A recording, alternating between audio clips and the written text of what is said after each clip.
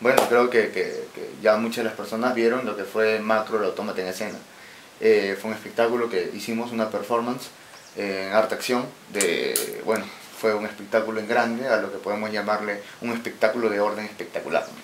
Muchísima gente, intervenimos en la calle desde 28 de julio hasta eh, la altura del anfiteatro.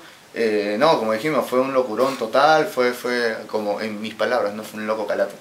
Eh, rompimos un televisor, armamos una torre de cilindros, reventamos la torre, prendimos fuego, hicimos humo por todos lados, nos divertimos a mandíbula batiente, lo disfrutamos mucho, no es parte de ello, parte de la destrucción.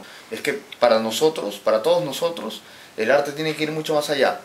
Ya no creemos de, no, yo no creo, ni ninguno de la compañía cree de que la persona tiene que estar sentada.